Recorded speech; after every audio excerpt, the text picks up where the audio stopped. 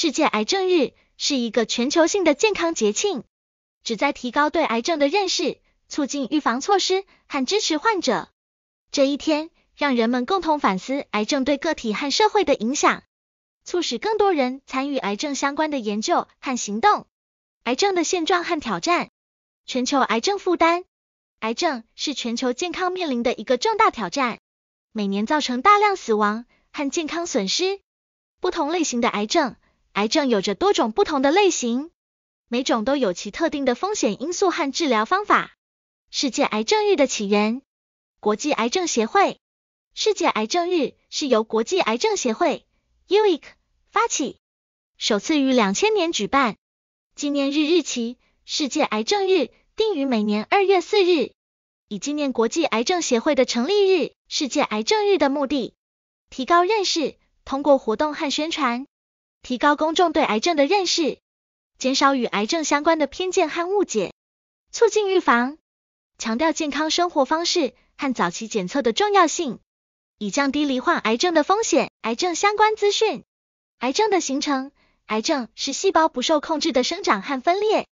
形成肿瘤的结果，癌症的风险因素，吸烟、不健康饮食、缺乏运动等是增加癌症风险的一些因素。癌症的预防和治疗，生活方式改变，戒烟，保持健康的饮食习惯和适度运动，有助于预防癌症。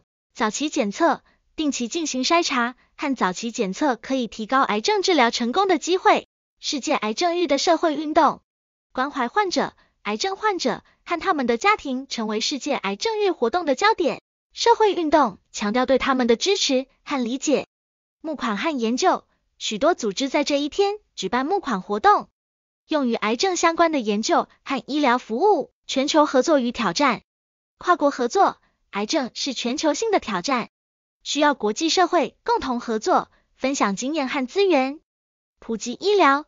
在一些发展中国家，提高对癌症的医疗设施。和知识的普及程度是一个长期的挑战。激励希望和积极行动，激励个体。世界癌症日的目标之一是激励每个人去积极的行动，照顾自己的健康，鼓励研究，通过支持癌症相关的研究，激励科学家们不断寻找新的治疗方法和预防策略。总的来说，世界癌症日是一个重要的全球性活动，促使人们更加重视癌症问题。鼓励取预防措施，同时提供支持给癌症患者及其家庭。